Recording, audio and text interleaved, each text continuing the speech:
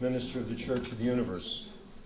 Up until the passing of our dearly beloved brother, Primate Minister and Abbot of Clearwater Abbey, Reverend Brother Walter A. Tucker, I was an Archbishop and the Associate Prime Administrator of the Assembly of the Church of the Universe. And now that Reverend Tucker has left us for the spirit realm, I am the Abbot of Clearwater Abbey and the Prime Administrator of the Assembly of the Church of the Universe. Looking for an Associate Prime Administrator, of course. Yeah, yeah, oh yeah, we do need help. On behalf of the Assembly, I would like to thank you for taking the time out of your day to come and share our grief and our joy over the passing of Brother Walter. He was, as he was known and loved by so many. On behalf of the Assembly, I would also like to extend our thanks and appreciation to everyone at the Pearl Company for their efforts in arranging quickly for the use of this facility and to the DeFalcos of the Hamiltonian for providing some eulogies online and, and for their kindness and, and help to get us a place which the construction put us here. And this is just as well. It's actually nicer. We have no bulldozers out front. I wrote, but Brother Walter would be tickled pink to see any gathering of the Assembly of the Church of the Universe, even if, and perhaps especially, if it had to occur on account of his own memorial service. I'm sure, like, I'm sure we've all, everybody's lost somebody. We all have parents and somebody that's in the spirit realm. And, and whenever you think of them, you get choked up, and I surely do. Not just Brother Walter, but my parents, who he loved, which is kind of weird, eh? Brother Walter and my parents. But yeah, they loved him because he was that kind of guy. He used to fix my mother's, when she was 80, 90 years old, they used to come twice a year to set up her air, her air conditioning system in the house because he was an electrician. And uh, well, it was pretty cool. What happened to Reverend Tucker was he was an electrician. And back in his youth, he worked at uh, Terminal Towers on King Street, the Holiday Inn there, and that place was sprayed with asbestos. And just about everybody who worked in there died of mesothelioma. Brother Walter, as you know, he coughed a lot. And I think the only reason he got made it to 79 was because he smoked a lot of God's tree of life. Yes, yeah. God bless the tree of life. Whether people believe it's a tree of life or not, I don't care. I do. As you know, this is a church that doesn't tell you how to pray because people either pray or they don't. That doesn't matter. What matters is how you treat other people. Because we're judged according to our works, not according to how many hours we banged our head on a tree or something for God, because I don't think God made us for that. He made us to to, to procreate, actually. Grow, and surely we have. Now, well, I've got uh, an eulogy here from Reverend Tucker's doctor. And, and when what happened with Brother Walter, he was sitting in the car he loved, the one I drove here today. And uh, I just take him in to pick it up. They had some work done on it. And he told his mechanic, were, there were people from Yugoslavia, his mother was a Russian Mennonite so that was sort of people that he loved, and there, there was people from the old country. And he said to Larry, he shook his hand, he says, I don't feel good. I want to go sit in the car. well, I get a call. I'm at the bank, I'm waiting for Walter. I get a call, I can't wake your brother up. So by the time I got there, Brother Walter was like just sitting in his car with his head back and his mouth open. Very peaceful, and I didn't feel pulse. He had his big coat on, he was warm. Well, I looked at Larry. I said, I think you better call an ambulance. I, I no powers to wake up people like brother in the state that Brother Walter was in. Eh? so I was so happy to see him happy. And I said, Doctor, I'll read his eulogy in a minute. We were in the doctor's office three weeks before, and Brother Walter's saying to the doctor, Well, eh, will you kill me if you need if I need to be? Just pull the plug.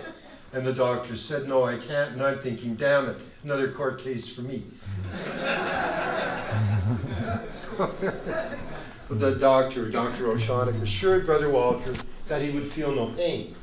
Now, none of us were all in denial that Reverend Tucker was winding down for the last two months. And uh, even the doctor, so we had breakfast. In fact, he suggested we do this, not for Brother Walter, who didn't want me to do this, but for us because that's what we need to do. This is not him. He's where he wanted to be, and he'll go to Clearwater Abbey where he wanted to be. And that's what's going to happen to Brother Walter. Yeah, yeah. So, what, what I'll do, I'll read an eulogy here from, uh, from the doctor. It says, Reverend Walter D.J. O'Shaughnessy, M.D., Reverend Brother Walter Tucker, a finer goodbye. I better put my glasses on this. I'm showing my age. Mm-hmm. I lost that when I was 20. Mm-hmm. Shiny, thank you. I, a final goodbye. I am presently on holidays with my family in the United States and unable to be here in person. Nonetheless, I would feel remiss if I didn't get a chance to say goodbye and to remember a great friend and patient who I have known for 20 years, over 20 years. Brother Walter was definitely his own man. He lived life his own way, but a life filled with love, kindness, and sharing. One would have to look far and wide to find a more kind and gentle soul. To know him is to love him, for he constantly exuded warmth, compassion, and love for humanity. He was an extraordinary physical human being. Even his 80th year, he was still quite fit, bright, and active. On one of his last visits, he dropped to the floor and did 10 consecutive push ups barely breaking a sweat. He did 30 a day, 30 in the morning and 30 at night. On any day, he would easily do 30 push ups a day and kept fit riding his Harley motorcycle. Of course, it's a Honda. I will never forget his radiant, joyful smile, and I will never forget the man. Brother Walter, I will see you in heaven. Respectfully yours, Walter O'Shaughnessy.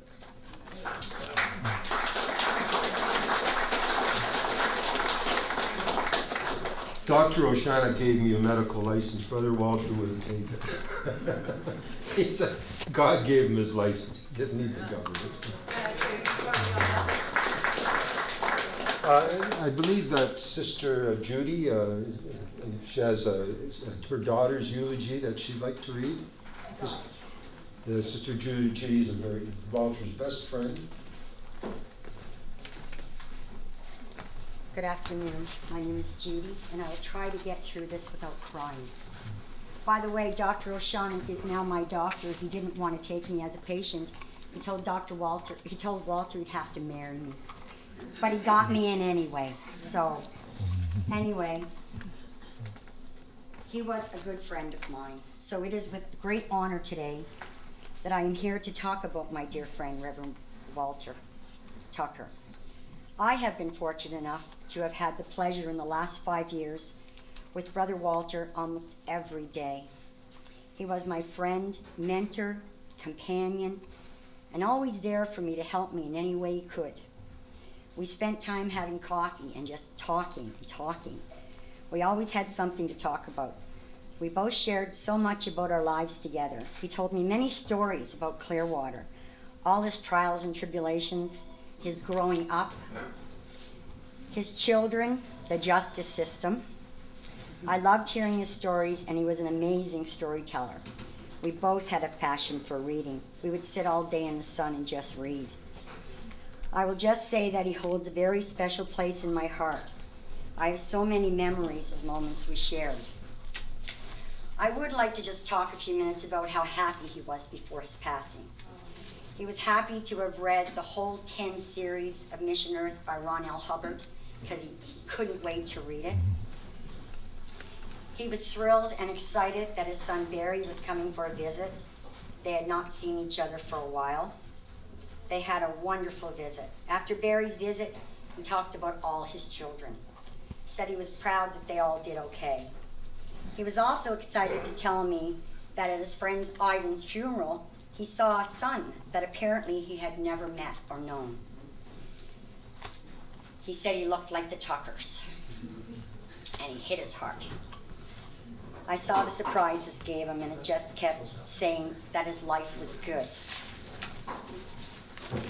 I'll just close in saying he was so many things to me, but he really was a presence in my life that gave me so much pleasure. I will miss him dearly.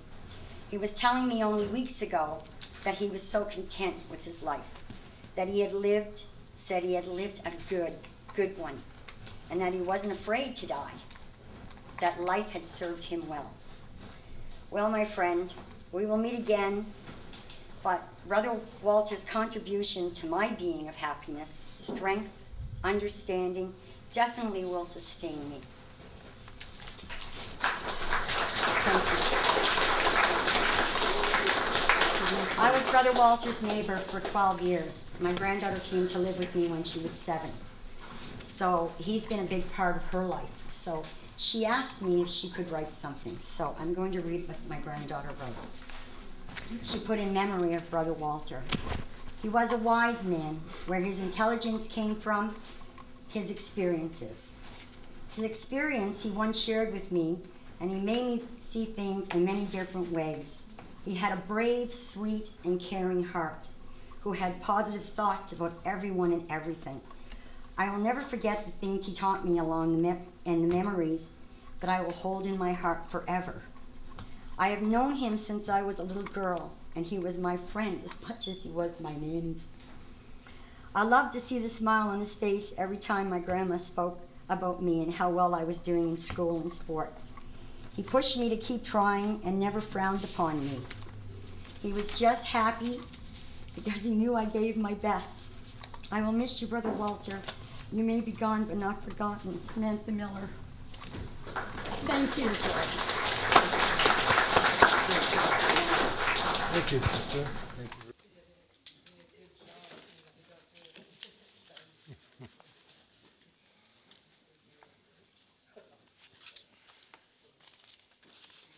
I would uh, suggest we really at the church, like I said earlier, we don't really have any specific way of praying. But uh, if you want to have a minute of silence, that would probably do it.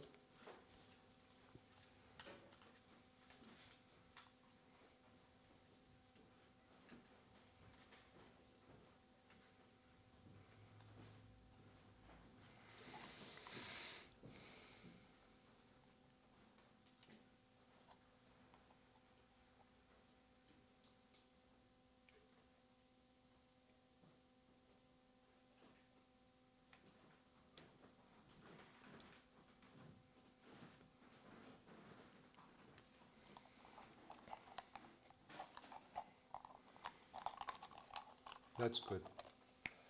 I can hear brothers saying, that's cool.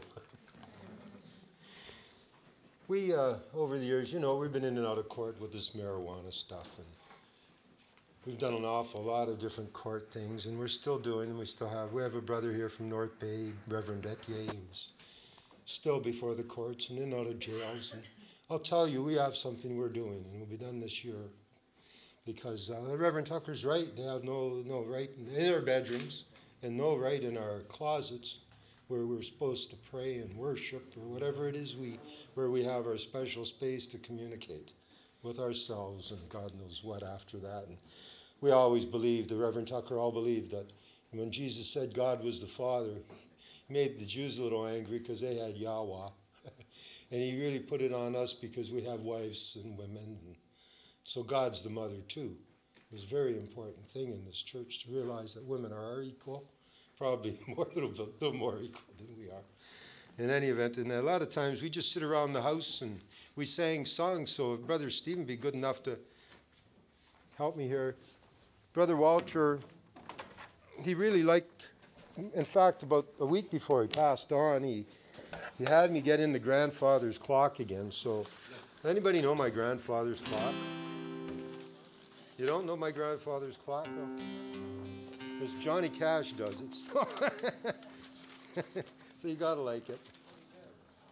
But we're not going to do Johnny Cash's version. You can find a picture. My grandfather's clock. Large for the shell, so it stood nine years on the floor. It was taller by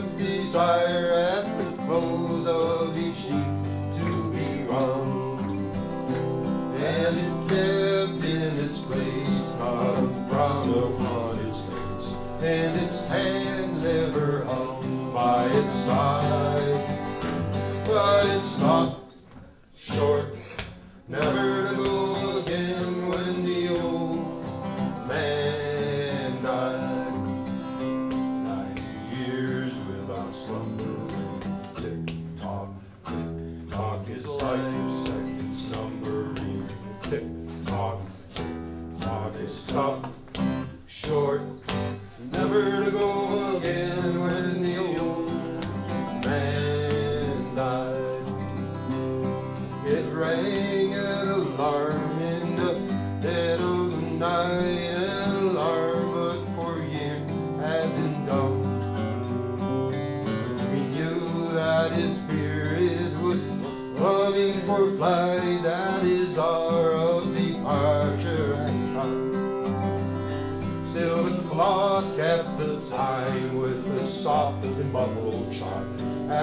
silently stood by his side.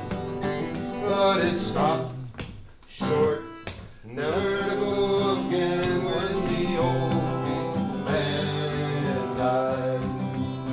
Ninety years without slumbering, tick tock, tick tock, is life seconds numbering,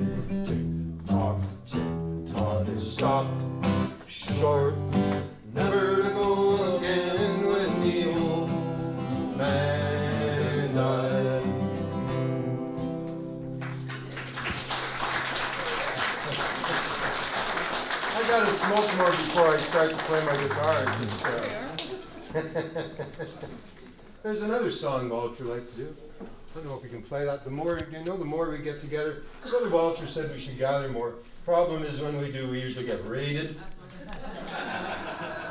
And I wish I was kidding, you know.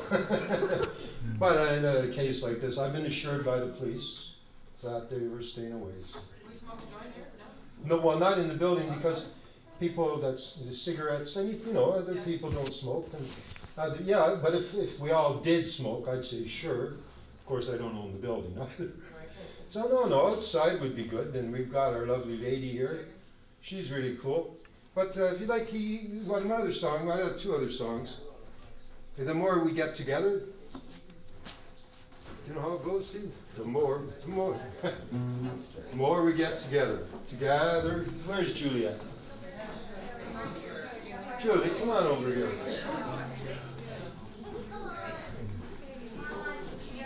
Come on, where are you?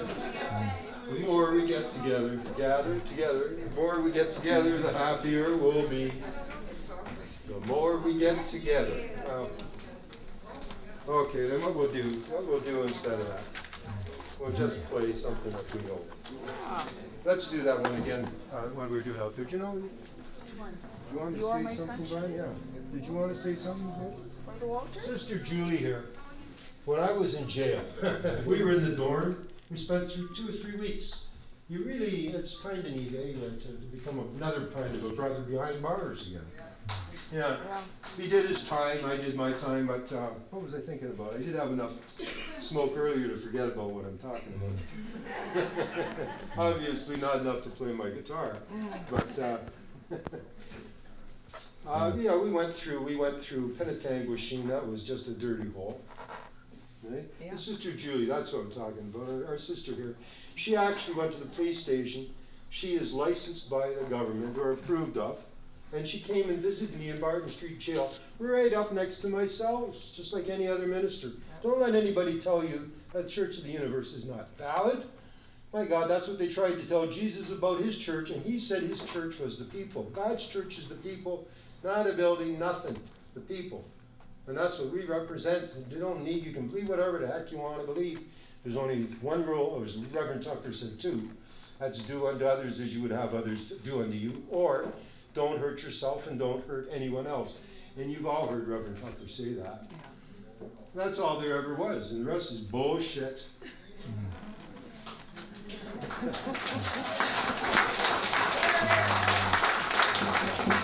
I think, if- Judy, do you have anything? Anyway, there she was. I had been, oh, I was in, I, a couple weeks into my sentence there. Yeah. They took me to Penetang, but uh, it was amazing. Go on and say something, Sister Jules. Well, I know Brother Walter would have loved this because he loves singing. So I'm glad we're doing this. He did. He was always singing. He was like a bird. Um, yeah, this is this is wonderful. I'm so glad. So many faces I haven't seen in a long time. Walter would be just beside himself to see all you guys. I don't know a lot of the people from the old Clearwater days. He spoke about a lot of his experiences there, and you were loved. Everyone was loved by Walter. He had a way of making even the worst situation and finding the positive in it. And I loved him for that because he, he could never despair around Walter. You know, you'd always point out something good that come out of even the worst situation, and I love that about him. Um, he just he always told me, get over yourself, you know, get over it, and you'll be okay. I really miss him, and I, I know you guys are all here because it's the same for you. And as Michael said, it's a good thing. I'm actually also joyful that he passed on because he always said, You will not be changing my diaper, sister. He did not want to be a sick old man, and he was starting to become that, and he died at the right time for him. Um, and peacefully, like he wanted to. He didn't want pain, and I'm, I'm glad of that. I, I, I miss him, and that's pretty selfish, but, you know, therefore, there you go, I'm selfish. He's not here.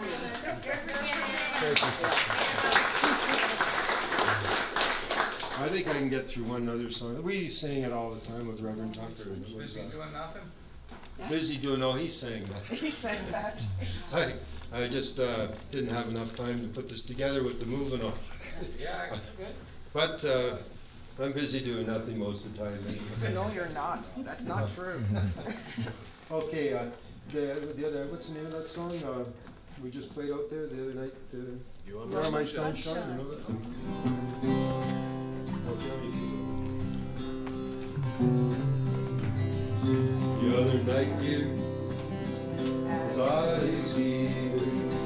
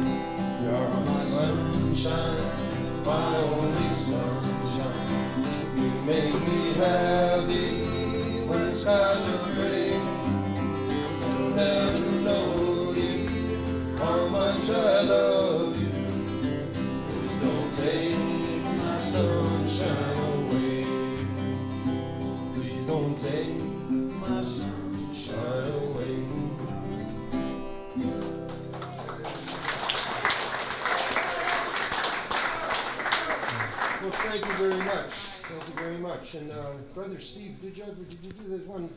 His Walter's most favorite song. Did you ever get that one down? That uh, Sunday morning coming down. You want the Believe mic I over did. here? I'll give it a shot. We'll give it a shot. It was a late request, and, Yeah, late. and that'll be that. We'll leave it with that. But this is a song that he just loved.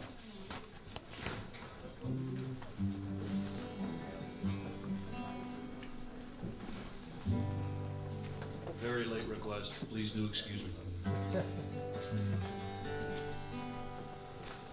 Well, I woke up Sunday morning with no way to hold my head that did hurt. And the beer I had for breakfast wasn't bad, so I had another for dessert. And I fumbled through my closet and found my cleanest dirty shirt.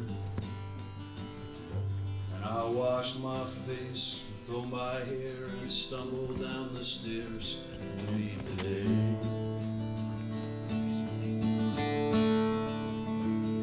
I'd smoked my brain the night before on cigarettes and songs I was picking.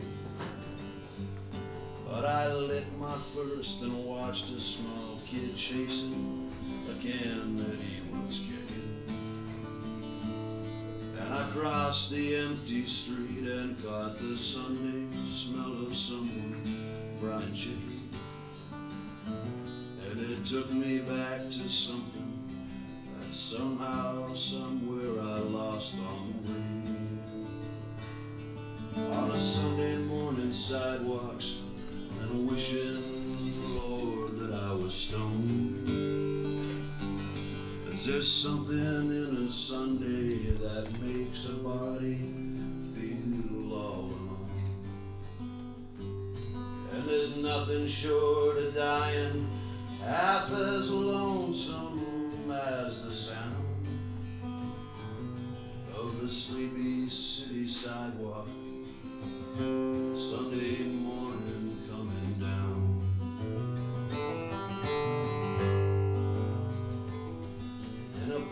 saw a daddy with a laughing little girl that he was swooning. And I stepped beside a Sunday school and listened to the songs they were singing. And I headed back for home, and somewhere far away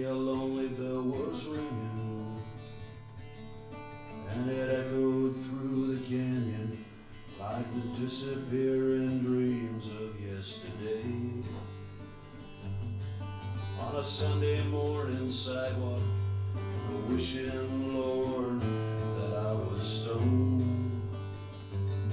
Cause there's something in a Sunday that makes a body feel all alone.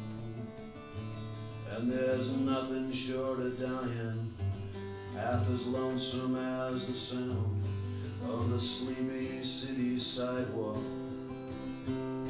Sunday morning coming down.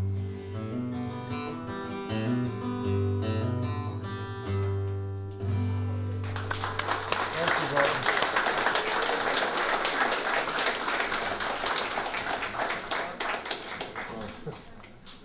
Well, again, man, I'd like, you, I'd like to thank you very much for, for coming and for everybody that, you know, made this possible to be here today.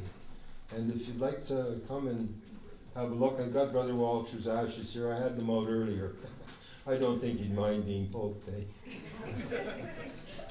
so, well, again, thank you and God bless everyone.